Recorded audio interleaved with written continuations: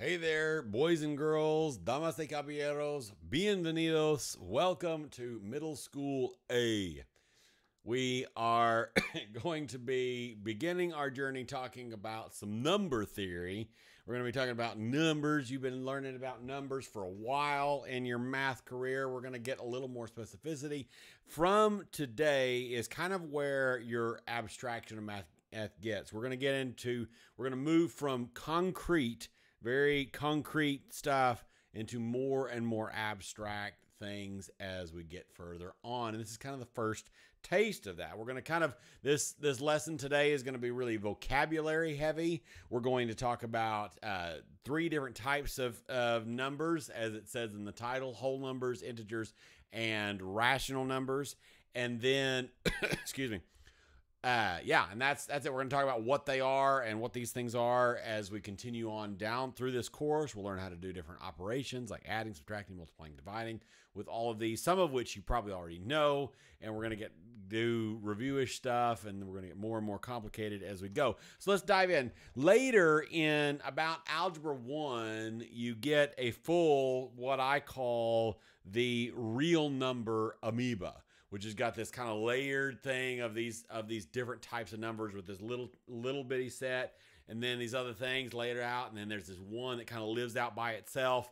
And then there's the real numbers which circles everything which so we're going to add to that. This is going to be kind of the very first piece of that. So when we're talking about different types of numbers back in kindergarten or probably even preschool you learned about numbers like one two three, and etc. Four, five, six, seven, eight, nine. Skip a few, a hundred, right? You know, all of those things. Then at some point that year or next soon after, you learned about one more number, and that number was zero. By the way, these numbers haven't these this set of numbers without zero. They have their own name. They're called natural numbers. We're going to kind of start building from the whole numbers though. So we added zero. And once we added zero, we probably didn't know this at the time. Excuse me. We probably didn't know this at the time, but we had taken our first journey into number theory because we'd started talking about um, whole numbers. Let me fix my thing back from another recording. It's probably a little better. Maybe I'm a little too loud. You can. It's going to sit this way for the rest of the next few videos. You can change it as you need. So these numbers, numbers 0, 1, 2, 3, you, you probably learned them as the counting numbers at first. Probably a little bit too loud. Sorry, I know I just said it was going to change, but uh, that seems to be about right. Yeah, good. Sorry, I was doing some other videos on our our other YouTube channel, Mead and Mischief. If you want to check it out. Um, but anyway, you probably learned these as the counting numbers but their official name is the whole numbers. Numbers, I keep doing that. Last several videos I've done, keep writing instead of writing O, I write A's. I don't know where that's that's coming from. So whole numbers. In case you've never seen this with this, what you'd call hashtag, what I'd call pound sign, uh, and that means this this is an abbreviation for numbers. In case you've never seen that before. So we're gonna we're gonna do a little bubble around this. So whole numbers, things like 7, things like 12, things like 56, th- things like 5280. All of those are whole numbers. And you may you may or may not learn about the next set of numbers. This year might be the first time that you learn about the next set. The next set is called the integers. Okay? Raise your hand if you've heard the word integers.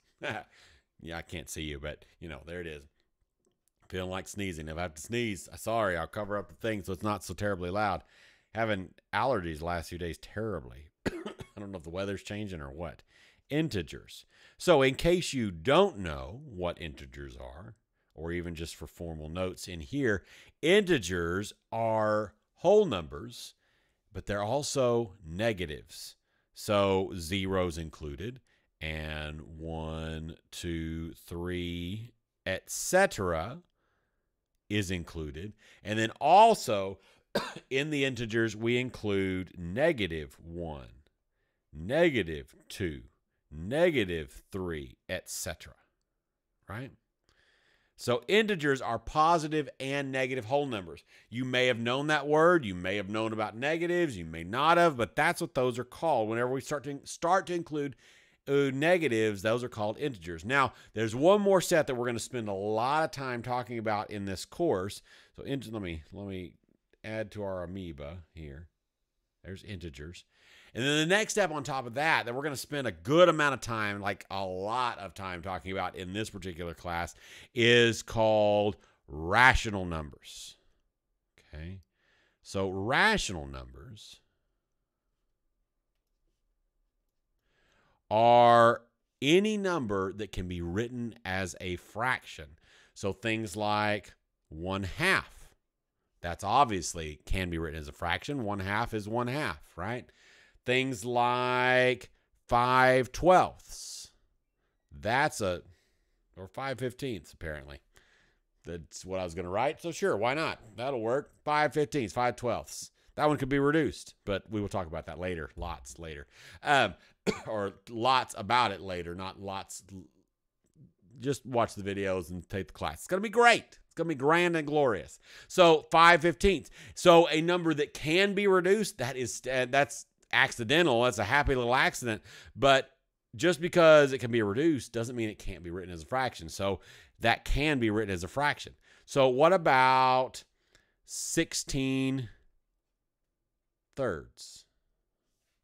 That's also a rational number. That is literally a fraction. So it can be written as a fraction. Now, you could convert that to a mixed number, something like this doesn't equal 16 thirds, but something like 2 and 2 fifths. You may or may not see, have seen how to convert 2 and 2 fifths to just one fraction, but it can be done. And if you can turn it into a fraction, it's a rational number. We're going to learn later, eventually, in, in courses, at least by Algebra 1, if not if not sometime sooner, that there are some numbers that can't be written as fractions. But what else could be written as fractions? So something like 0.28. That's a rational number because we could turn that into a fraction. If you don't know how to turn that decimal into a fraction, don't worry. We're going to get lots of practice on that, but it can be written as a fraction. So decimals also are rational numbers. The number 5 is also a rational number. Now you'll notice I'm going to go ahead and put my bubble here. I'm going to go ahead and add my final bubble in in where in the the level of the amoeba so far. Again, this could be zoomed out. There are are other other things still in this this amoeba, but you'll notice that this sort of green blob is also inside of the yellow yellow blob is also inside of the purple blob. So anything that's a whole number is also an integer anything that is an integer is also a rational number, but not every rational number is also a whole number because one half, actually anything up until five, is not a whole number. But can we write five as a fraction? Yes, we can. In case you're thinking, no, you can't. Yeah, you absolutely can, right? In order to write five as a fraction, we just put it over one. It's a fraction now, right? So we can write it as a fraction right? So that that works out out just great. If it can be reduced down to a fraction with whole number on top and bottom, it's a it's a it is a rational number. Something like 23%. That's a fraction. That can be written as a fraction, and that's a rational number. Something I didn't include any, but something like negative. Uh, was there any other? We could write. We don't tend to. These are rational numbers, but we don't tend to write things in this format. But you could say 8 to 3. So, like a ratio would also be a rational number. If you haven't seen that, don't worry, you're going to see that. That I think we covered a little bit in this class, and we definitely will see it in the next few years, if not in this class as well, right? So all of those things can be written as rational numbers. We could come in here and make negatives of any of these because negatives are also rational or negative rational numbers are absolutely legitimate okay so that's all there is really to this lesson this this categorization of these three things. When you see something uh, if you were looking at like a homework or a test problem related to this you might say it might say something like tell whether this number is a whole number and you could put a w or an integer and you could put an i. I actually means something else but at this point i is fine. Z is actually correct but we'll we'll let i be just fine for now. Excuse me, or is it a rational number? And so it might. So for the the example um, or the problem, it might be something like 56. So if the if they give you 56, then you would list, okay, this is a rational number. This can be written as a fraction. It is a integer because it's a positive or negative whole number, and if it's a positive or negative whole number, it's a whole number. Basically, if it's a rational number, it's also an integer and it's also a whole number. If it's an integer, it's also a whole number. Does that make sense? But if it's so that there there we go there. No. No. I wrote that backwards. Sorry, it's it's late. I, I'm recording this video later in the evening than I intended, but life happens sometimes. All right, it's the other way around. If it's a whole number, it's also an integer, right? If we look at our diagram, the whole number's inside of that one. Whole numbers is the littlest one, right? So if it's a whole number, it's also an integer and it's also a real number. If it's an integer, it's also a real number or rational number, excuse me. So if it's a, if it is a W, it's also everything else. That's that and that's one thing that you need to know. If it's if it's a whole number, if it's a W, it's the other two as well. So what if you had an example, example number 2, something like negative 38. Well, is that a whole number? No, it's not a whole number. So we can cross that off, right? But it is an integer, right? So it's an I. And if it's an I, then it's also an R, right? Let's do one more, well, maybe two more examples.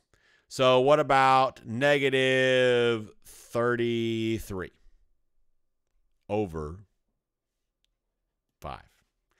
Is that a whole number? No, it's a fraction and it's negative. Is it an integer? No, because it's because it's it's not a negative whole number. Integers can be negative, right? 38 is an integer, so it's only an R. Now, in at least my class and probably most classes at around this this level at, at fifth grade, sixth grade, eight, somewhere around in there when you're probably taking this class, you probably won't see an example like this, but I'm going to throw this in there as a bonus because we like bonuses.